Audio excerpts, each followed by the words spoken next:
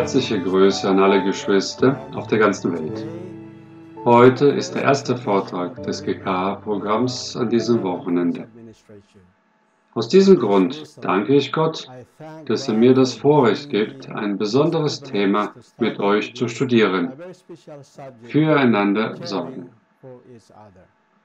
Wie wir alle wissen, ist das Fundament der Regierung Gottes auf Liebe gegründet. Es ist sein größtes Bestreben, sich um der belebten und auch der unbelebten Schöpfung der gefallenen Welt wie auch der ungefallenen Welten zu kümmern. Er ist so fürsorglich, dass jeder täglich von ihm Segen erhält.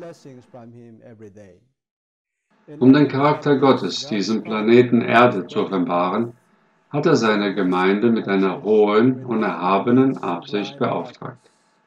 Die Gemeinde wurde gegründet, damit sie den Charakter Gottes darstellt und die frohe Botschaft allen Nationen, Stämmen, Sprachen und Völkern verkündigt. Wenn ihre Mission erfüllt ist, wird sie verwandelt und verklärt werden zum ewigen Reich Gottes. Ab und zu kommen die Menschen zu unserer Gemeinde durch die Taufe. Doch leider gehen einige wieder von ihnen durch die Hintertüren unserer Gemeinde heraus. Wie viele Glieder würde unsere Gemeinde haben, wenn sie die alle behalten könnte, die abfallen? Daher sollten wir handeln, um dieses Problem zu vermeiden. Man sagt, Vorsorge ist besser als Heilung. Wenn wir über Vorsorge in Bezug auf Abfall sprechen, denken wir an gründliche Unterweisung der Menschen in unserer Lehre vor der Taufe. Das ist vernünftig und richtig, eine Person gründlich und klug für die Taufe vorzubereiten. Doch leider ist es so, dass Glaubensabfall durch verschiedene Gründe verursacht wird. Nummer 1. Ungeweihte Leiterschaft. Zweitens. Unangemessene Predigten. Drittens. Mangel an Vorbereitung vor der Taufe. Viertens. Mangel an Weihe von der betreffenden Person. Nummer 5. Ablenkung des Augenmerks auf himmlische Dinge. Und sechstens, eine geistliche, einige geistliche Krankheiten, welche die Gemeindemitgliedschaft betreffen. Der Abfall ist auch ein gesellschaftliches Problem. Denn nur wenige, die die Gemeinde verlassen, hören auch wirklich auf, an die lehrende Gemeinde zu glauben. Die Mehrheit von ihnen verlässt die Gemeinde wegen zwischenmenschlicher Probleme. Manche von ihnen sagen, in der Gemeinde fehlt es an Liebe. Andere sagen, niemand hat sich um mich gekümmert, als ich Probleme hatte. Wiederum andere sagen, ich fühlte mich einsam, seit ich zur Reformgemeinde kam. Ich hatte alle meine Freunde verloren. Eine Aussage von einem weggegangenen Gemeindeglied, die man ernst nehmen sollte, lautete, in der Gemeinde gibt es Gruppen von engen Freunden, die den Neuen keine Aufmerksamkeit schenken.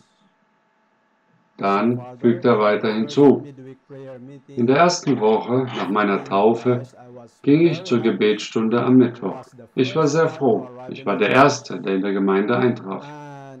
Am Sabbatmorgen ging ich früh zur Gemeinde. Und nach der Predigt versammelten sich alle Freunde ihrer Gruppe.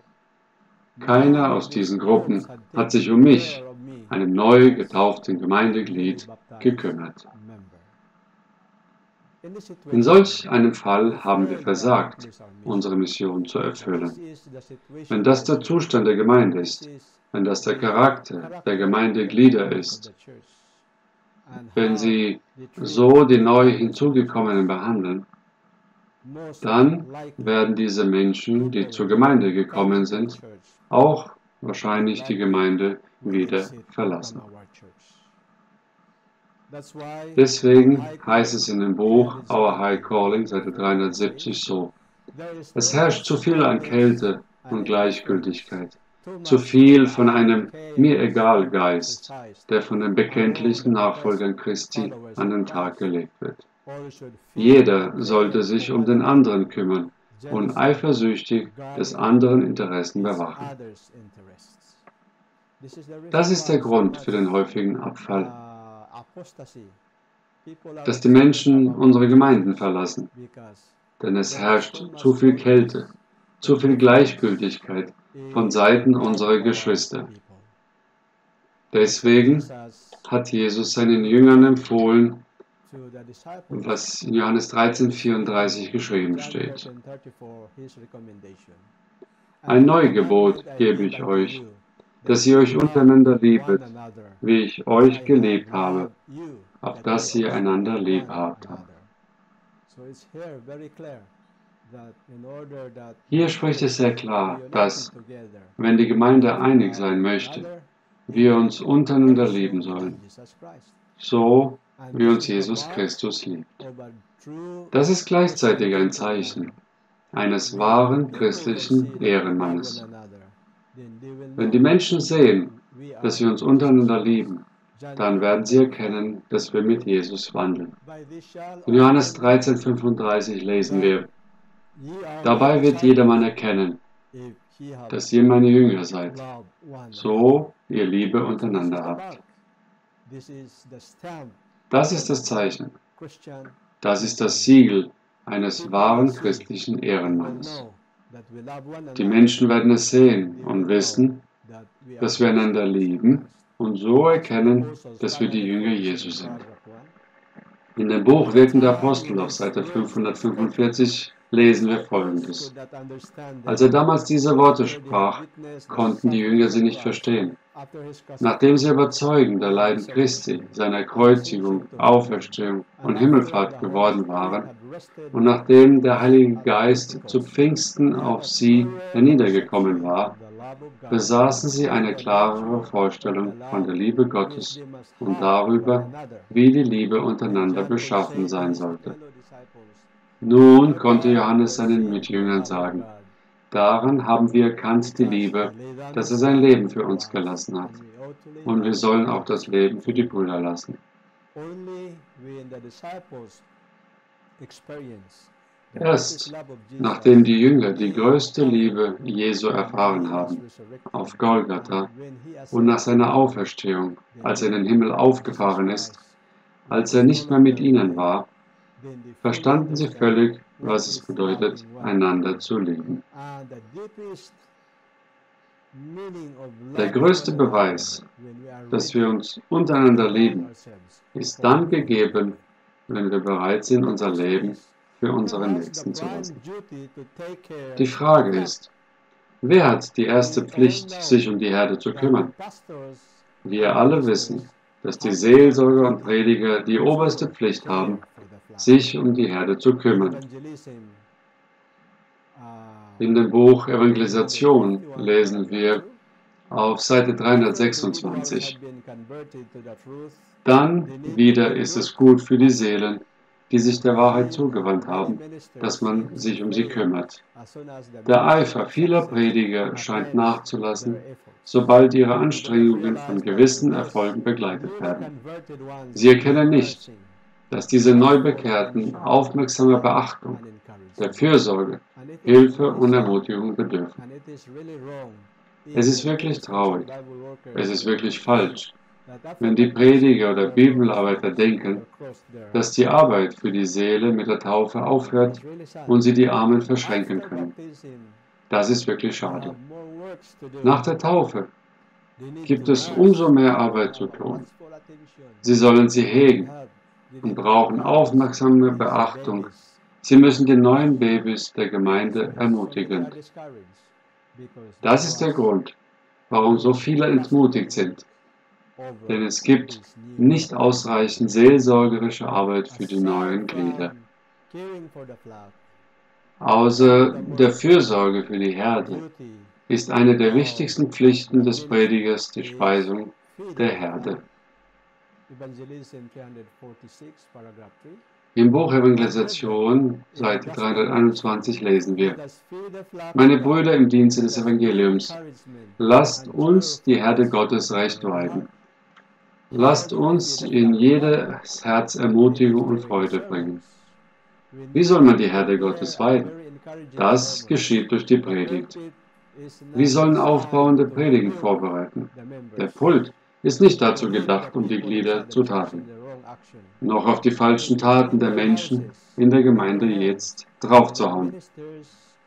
Wenn die Glieder etwas Falsches getan haben, dann soll der Prediger es in ihrem Heim ansprechen, sie dort tadeln oder sie korrigieren. Der Pult ist der Ort, wo man die Herde speist, damit sie geistlich wachsen. Eine andere wichtige Pflicht eines Predigers ist, dass man sie so oft wie möglich besucht. Im Buch Evangelisation, Seite 322 lesen wir, als Hirte der Herde sollte er, der Prediger, sich um die Schafe und Lämmer kümmern, indem er die Verlorenen und Umherirrenden sucht und sie wieder zur Schafherde zurückbringt. Er sollte jede Familie besuchen, und zwar nicht nur als Gast, der ihre Gastfreundschaft in Anspruch nimmt, sondern als einer, der sich nach dem geistlichen Stand eines jeden Mitglieds des Haushaltes erkundigt. Während dieser seelsorgerischen Besuche sitzt der Prediger nicht einfach dort bei Ihnen und will wissen, was bei Ihnen los ist, sondern er fragt, was der Bruder zu tun hat, und dann kann er ihm auch helfen. Und während sie dann zusammenarbeiten, haben sie Zeit, um über den geistlichen Zustand seiner Familie zu reden. Und wenn es nötig ist, dass etwas korrigiert werden soll, dann soll er es im richtigen Geist ansprechen. Nun, es gibt auch etwas, wo der Prediger vorsichtig sein sollte und die richtige Aufmerksamkeit widmen soll, nämlich sich dem Herzen zu nähern. Kommt euren Brüdern so nahe wie möglich, sucht sie, helft ihnen, kommt ihren Herzen nahe wie einer, der vom Gefühl ihrer Schwachheiten berührt und bewegt ist. Den Mitgliedern dieser Familien sollten einige Arbeiten aufgetragen werden, die sie zum Besten ihrer Seelen ausführen können. Hier lesen wir es ganz deutlich, dass wir den Geschwistern sehr nahe sein sollen. Diese Verbindung soll wie ein Band, eine starke Schnur sein, die den Prediger mit den Geschwistern verbindet, damit diese nicht Angst haben, ihre Sorgen zu bekennen. Wenn du aber zu den Gemeindegliedern distanziert bist, dann scheint es, dass du über ihnen stehst, dass du unberührbar bist. Es scheint, dass es sehr schwer ist, dass man sich dir nähert. Wie können sich dann diese armen Menschen, die Glieder der Gemeinde, dir überhaupt nähern oder ihre geistlichen Probleme dir bekennen? Daher, Prediger, Bibelarbeiter, lasst uns den Herzen der Geschwister nahen. Ein anderer wichtiger Teil der seelsorgerischen Arbeit ist Tadel und Ermahnung. In Evangelisation Seite 323 heißt es, es gilt, eine wahre Hirtenarbeit zu tun. Und das bedeutet, mit aller Langmut und mit Grundsätzlichkeit zu tadeln und zu ermahnen. Der Hirte sollte das Wort Gottes dazu benutzen, zu zeigen, wo im Leben des Gläubigen ein Mangel besteht. Wenn es einen Grund zur Korrektur gibt, dann gibt es drei Faktoren oder Umstände, an die ein Prediger oder Bibelarbeiter denken soll. Nummer eins: Es soll zur rechten Zeit sein. Gehe nicht hin, um etwas zu korrigieren, wenn der Betreffende sehr müde ist, wenn diese Person sehr schläfrig ist oder sehr hungrig. Geht und besucht sie zur rechten Zeit, wenn es auch für sie passt. Dann der nächste Punkt. Sprich den Tadel in einem richtigen Geist. Egal, wie recht du hast, wie aufrichtig du es meinst. Wenn du die Person mit einem zornigen Geist tadelst, wird diese Person, anstatt bekehrt zu werden, rebellisch und letztendlich die Gemeinde verlassen. Und der dritte Zustand ist der richtige Ort. Es sollte nicht in der Gemeinde stattfinden. Es sollte nicht in der Öffentlichkeit sein, sondern in ihrem Heim, oder an einem besonderen Ort, wo ihr alleine seid und es nach den Anweisungen Gottes in Matthäus 18 geschehen kann. Und wenn wir tadeln, lasst uns daran denken, dass aller Tadel auf dem inspirierten Wort Gottes gegründet sein soll, um zu zeigen, wo der Mangel besteht. Die nächsten in der Reihenfolge, die sich um die Herde der Gemeinde kümmern sollen, sind die Ältesten und Gemeindeleiter. In Apostelgeschichte 20, 27 und 28 finden wir die letzte Begegnung von Apostel Paulus und den Ältesten in Ephesus und wie er ihnen die Pflichten auftrug, für die Gemeinde zu sorgen, weil er sie nicht mehr sehen wird. Lesen wir nun die Verse nach der Schlachterübersetzung. So habt nun Acht auf euch selbst und auf die ganze Herde, in welche der Heilige Geist euch zu Aufsehern gesetzt hat. Hier verstehen wir, dass die Ältesten zu Aufsehern eingesetzt wurden, um die Gemeinde Gottes zu weiden. Sie sollten lokal und ihren zuständigen Gemeinden wirken. Der Apostel Petrus fügt noch hinzu in 1. Petrus 5, 1 bis 3. Die Ältesten, so unter euch sind, ermahne ich, der Mitälteste und Zeuge der Leiden, die in Christus sind, und auch teilhaftig an der Herrlichkeit, die offenbart werden soll. Weidet die Herde Christi, die euch befohlen ist, und seht wohl zu, nicht gezwungen, sondern willig. Nicht um schändlichen Gewinns willen, sondern von Herzensgrund. Nicht als übers Volk herrschen, sondern werdet Vorbilder der Herde. Hier verstehen wir, dass der Älteste der Gemeinde nicht hochmütig sein soll, nicht im Mittelpunkt stehen soll, kein Diktator sein, oder eine herrschende Person, sondern das Volk Gottes durch ein rechtes Vorbild in der Gnade und Liebe Gottes leiten. Lasst uns Vorsicht walten lassen, wie wir das Erbe Gottes führen und leiten. Nicht um des schändlichen Gewinns wegen, nicht gezwungen oder mit Gewalt, sondern willing dem Volk dienen. Wie wir ja aus diesen zwei Schriftstellen der Bibel wissen, sind die örtlichen Ältesten, der örtliche Prediger, der von der Gemeinde gewählt wurde, um für die Herde vor Ort zu sorgen. Der Herr Älteste hat sich besonders um die kürzlich getauften Glieder zu kümmern. Er hat dafür Sorge zu tragen, dass sie sich nicht einsam fühlen. Er soll darauf achten, dass es keine sozialen Spannungen mit den rechtlichen Geschwistern gibt. Und er soll ihnen helfen, neue Freunde zu finden, die die ehemaligen Freunde ersetzen, die sie durch die Nachfolge Jesu verloren haben. Es ist auch die Aufgabe der Diakonie, sich um die Herde Gottes zu kümmern. Sie haben auch besondere Aufgaben in der Gemeinde zu tun, wie das Willkommenheißen an der Tür oder dem Tor zur Gemeinde, bei jeder Versammlung.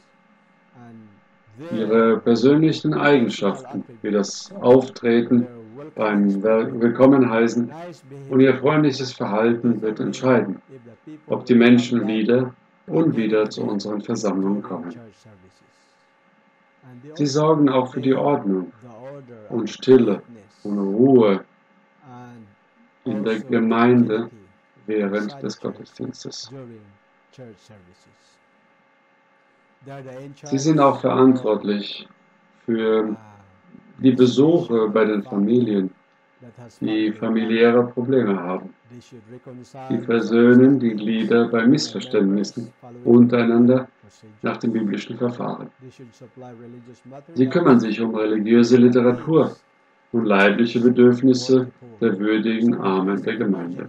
Das heißt, wenn es eine Not gibt, sind sie die Ersten aus der Reihe der Gemeindebeamten, die gehen und den Personen helfen, die von dem äh, Notfall betroffen sind, besonders eben in der lokalen Gemeinde. Der lokale Missionsleiter hat die Aufgabe, die Gemeinde zu Aktionen zu bewegen.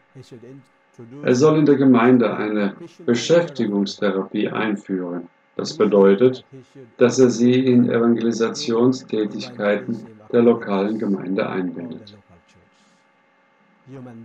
Der Mensch ist nicht dazu geschaffen, untätig zu sein. Aktivität ist ein Zeichen von Leben. Und ein Fortschritt findet statt, wenn jemand sein Leben Jesus übergibt. Dann sollen wir sie in all unsere Evangelisationstätigkeiten einbinden. Ihr wisst ja, es ist ganz normal und sehr logisch, dass das Gefühl, nützlich zu sein, ein großer Faktor zum Glücklichsein ist.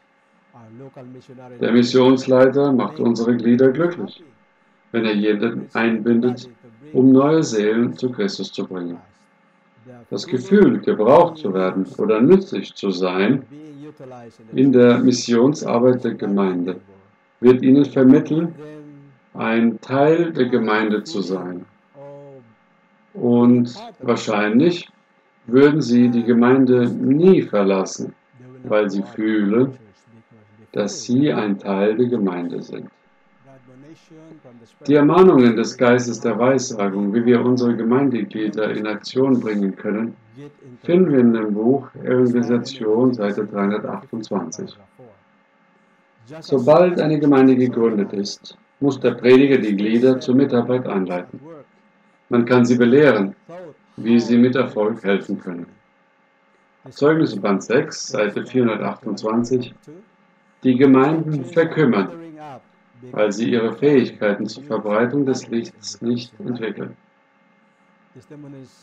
Zeugnis Band 6, Seite 427. Die Gemeinde hört zu viele Predigten. Wird sie aber auch belehrt, wie sie Menschen gewinnen kann, für die Christus starb? Hat man eine Arbeitsweise so vorgeführt, dass jeder die Notwendigkeit der Mitarbeit erkennt hier sehen wir, liebe Geschwister, dass die Menschen die Gemeinde verlassen werden, weil sie nichts zu tun hatten. Sie wurden nicht gebraucht. Sie saßen, hörten zu und gingen wieder nach Hause. Sie langweilten sich in der Gemeinde. Sie sagen, ach, die Gemeinde ist langweilig. Ich werde nicht gebraucht. Und es ist besser, ich schaue mich nach einer aktiven Gemeinde um, wo jeder eingebunden ist. Hier sehen wir eine der besten Methoden, um Gemeindeweggang zu vermeiden. Helft ihnen. Es ist die Arbeit des Predigers. Es ist das Werk der Gemeindeleiter und am meisten das der örtlichen Missionsleitung, die Ortsgemeinde zu organisieren. Bildet verschiedene Gruppen, wie zum Beispiel Besuchsgruppen, Gruppen für Wohltätigkeit oder eine Gruppe für Bibelstunden oder Betrachtungen. Kindergruppen sowie andere Gruppen nach den Talenten der Glieder. Sie kann man in, in Gruppen vereinen und ihnen Aufgaben geben, vielleicht am Sabbatnachmittag oder an einem anderen Tag in der Woche, so dass sie ein oder mehrere Stunden hinausgehen können, um zusammen mit ihrer Gruppe Missionsarbeit zu verrichten. Das ist das Wichtigste, die Gemeinde zur Aktivität rufen. Und das wird Abtrünnigkeit vermeiden. Wie sieht es mit den lokalen Gemeindegliedern aus? Haben sie eine wichtige Rolle, sich um andere Glieder und besonders der Neubekehrten zu kümmern? Im Buch Evangelisation Seite 325 lesen wir, um jene, die neu zum Glauben gekommen sind, sollte man sich geduldig und liebevoll bemühen. Es ist die Aufgabe ihrer Gemeindeglieder, Wege und Mittel zu finden, um ihnen zu helfen, ihnen Anteilnahme entgegenzubringen und sie zu unterweisen, denn sie sind um der Wahrheit willen bewusst aus anderen Kirchen ausgetreten.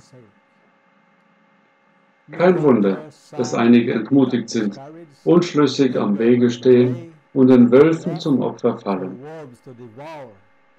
Es müsste mehr Väter und Mütter geben, die diesen jungen Kindern in Christo ihr Herz öffnen, sie ermutigen und für sie beten, damit der Glaube nicht verwirrt werde.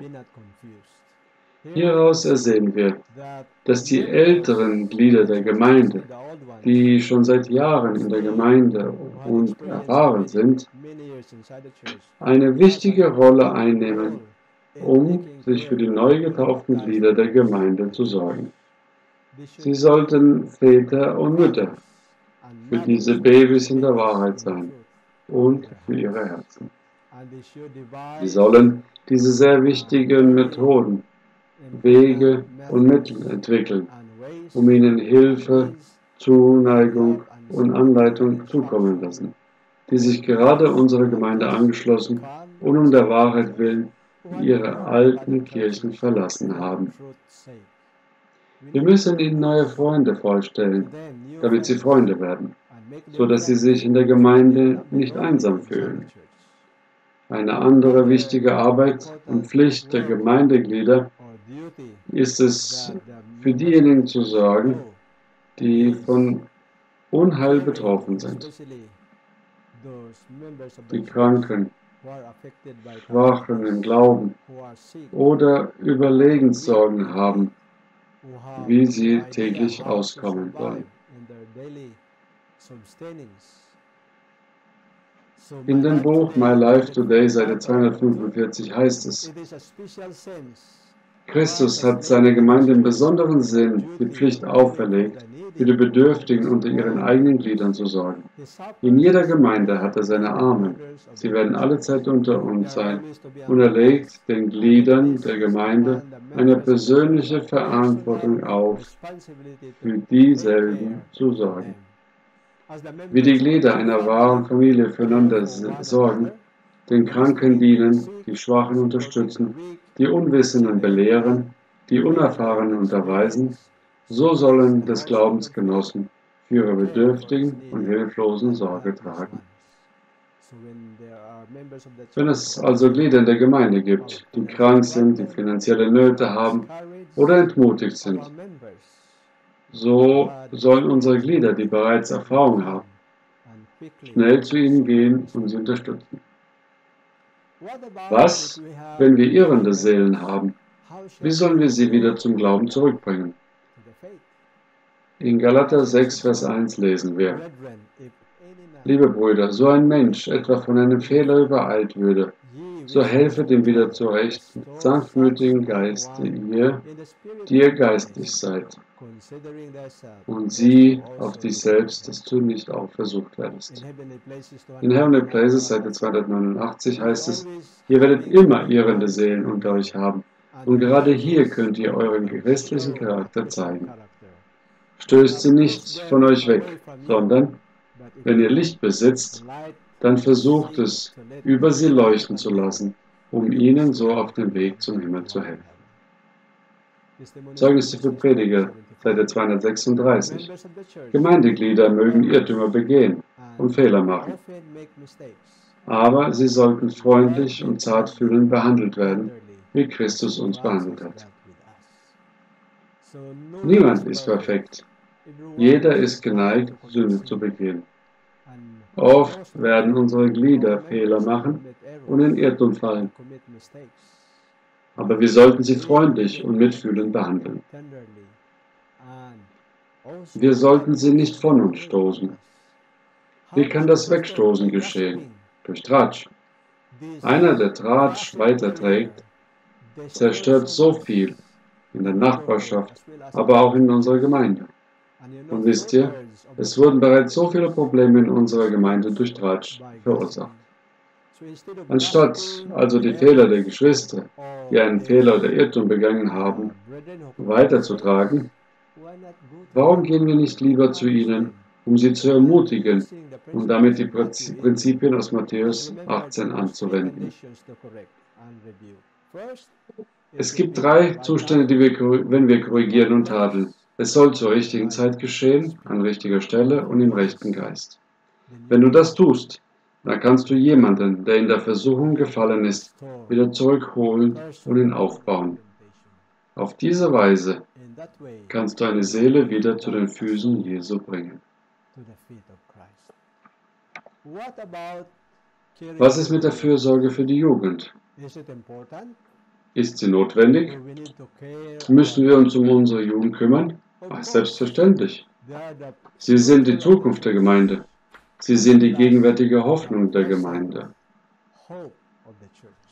Ohne sie und wenn wir uns nicht um sie kümmern, werden wir in der Zukunft keine Glieder in der Gemeinde haben. Laut Johannes 21,15 lesen wir, da sie nun das Mahl gehalten hatten, spricht Jesus zu Simon Petrus, Simon Jona, hast du mich lieber, denn mich diese haben? Er spricht zu ihm, ja Herr, du weißt, dass ich dich lieb habe. Spricht er zu ihm, weide meine Lämmer. Wer sind die Lämmer? Das können die Jugendlichen der Gemeinde sein. Das können Kinder oder neu neue Glieder der Gemeinde sein. Der Geist der Weise sagt uns in Bulletin der Generalkonferenz 1891, wenn die Gemeinde eine lebendige, aktive Gemeinde wird, dann werden ihre Glieder fürsorglich für die Jugendlichen unter ihnen wirken. Sie werden nach denen schauen, deren Hände nach unten gesunken und dessen Füße vom wahren, sicheren Pfad abgewichen sind. Wisst ihr, es gab einen Fall, dass ein Jugendlicher, ein Sohn eines Predigers, zu dem Gebetskreis am Mittwoch sehr spät kam. Der Diakon dieser Gemeinde fragte ihn an der Tür, Oh, was machst du? Warum kommst du so spät? Ach, weißt du, Bruder, ich hatte so viel zu tun, daher war es mir nicht möglich, pünktlich zu kommen. Es tut mir sehr leid. Aber der Diakon war wütend, tadelte und sagte ihm, Oh, ich weiß, dass du Dinge tust, die schlecht sind. Du gibst den anderen Jugendlichen kein gutes Beispiel, obwohl dein Vater ein Prediger ist. So benimmst du dich. Du kommst zu spät und ich denke, dass es nicht richtig ist, wie du es tust. Ich werde es deinem Vater sagen. Was geschah nun? Der junge Mann war beleidigt und sagte, nie, nie wieder werde ich zur Gemeinde kommen. Und ja, es wurde wahr. Er kam seit dieser Zeit nie wieder zur Gemeinde, auch wenn sein Vater der Prediger war. Er hatte viel Mühe mit ihm, um mit ihm zu reden und ihn einzuladen, in die Gemeinde zu kommen. Aber dieser Jugendliche wurde erwachsen und hatte immer noch dieses schlechte Benehmen des Diakons in Erinnerung. Und er hat beschlossen, nie wieder zur Gemeinde zu kommen. Deswegen müssen wir vorsichtig sein, wie wir unsere Jugendlichen korrigieren. In Councils for the Church, Seite 58, lesen wir, Gott erwartet von den Gemeindegliedern, dass sie sich der an Glauben und Erfahrung jungen Kinder in Christo annehmen, sie aufsuchen, nicht um mit ihnen zu klatschen, sondern um zu beten und zu ihren Worten zu sprechen, die wie goldene Äpfel auf, unseren Sil auf Silberschalen sind. Hieraus verstehen wir, dass wir uns besonders um die Jugendlichen kümmern sollen für junge Menschen im Glauben. Und anstatt über ihre Fehler und Irrtümer zu tratschen, sollten wir für sie beten und Worte der Ermutigung mit ihnen sprechen, damit sie damit aufwachsen. Wie führe ich mein Kind? Seite 348. Junge Leute, die nicht unter elterlichem Einfluss stehen, brauchen jemanden, der sich um sie kümmert und Interesse für sie hat. Wer so handelt, schließt eine große Lücke und kann ebenso wirksam für Gott und die Rettung von Seelen wie der Prediger von der Kanzel.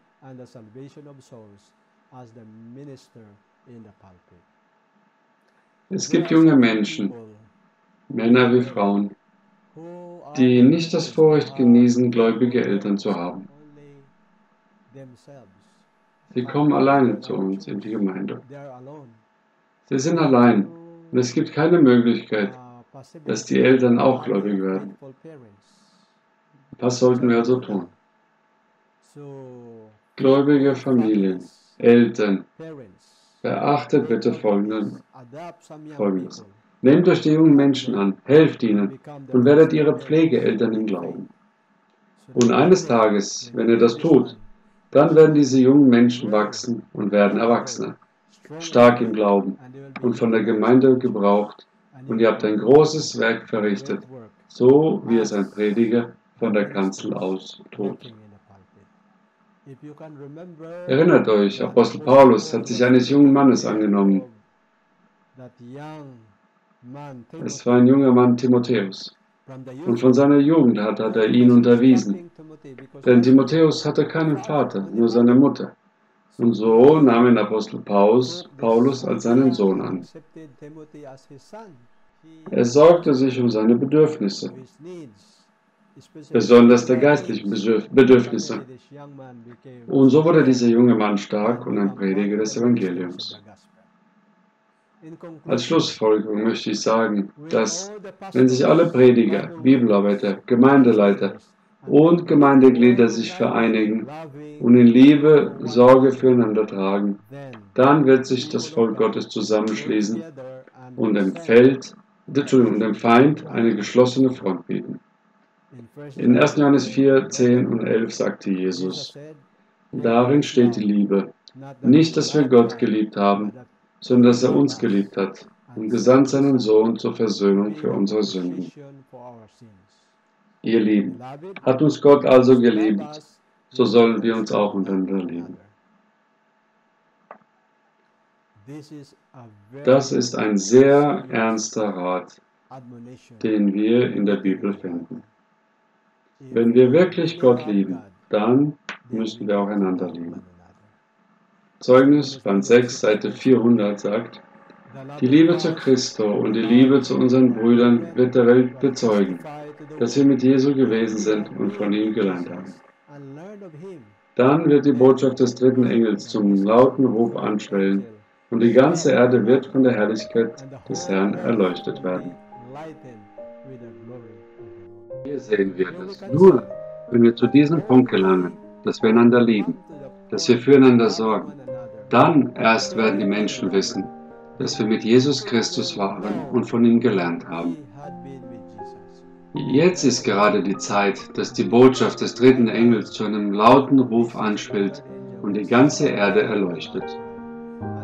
Wenn die Menschen dieser Welt dieses Licht sehen, wenn sie unseren Charakter sehen, wenn sie sehen, dass wir einander lieben und füreinander sorgen, dann werden alle Aufrichtigen die gefallenen Kirchen verlassen und ihre Stellung mit den übrigen einnehmen. Hier sehen wir, dass sich das endgültige Sammeln der Erlösten der Gemeinde aus den 144.000 zusammensetzt. Wenn sie kommen und bereit werden, dann wird sich das Licht der Herrlichkeit Gottes in den Kindern Gottes widerspiegeln durch ihren Charakter. Wenn sie miteinander durch die Liebe und Fürsorge vereint sind, dann ist es genau die Zeit, wenn der laute Ruf des dritten Engels anschwellen wird in der ganzen Welt. Und was wird dann geschehen? Wenn wir den Charakter und das Bild Jesu völlig widerspiegeln, was wird dann geschehen? Dann erst ist Jesus zufrieden und wird wiederkommen und die Seinen für sich beanspruchen. Das ist mein Wunsch und Gebet, dass von jetzt an, auch wenn wir bisher nicht imstande waren, seinen Charakter wiederzuspiegeln, dann ist es jetzt der richtige Zeitpunkt, damit anzufangen, sich umeinander zu sorgen und zu lieben damit wir der Welt den Charakter Christi völlig widerspiegeln können. Amen.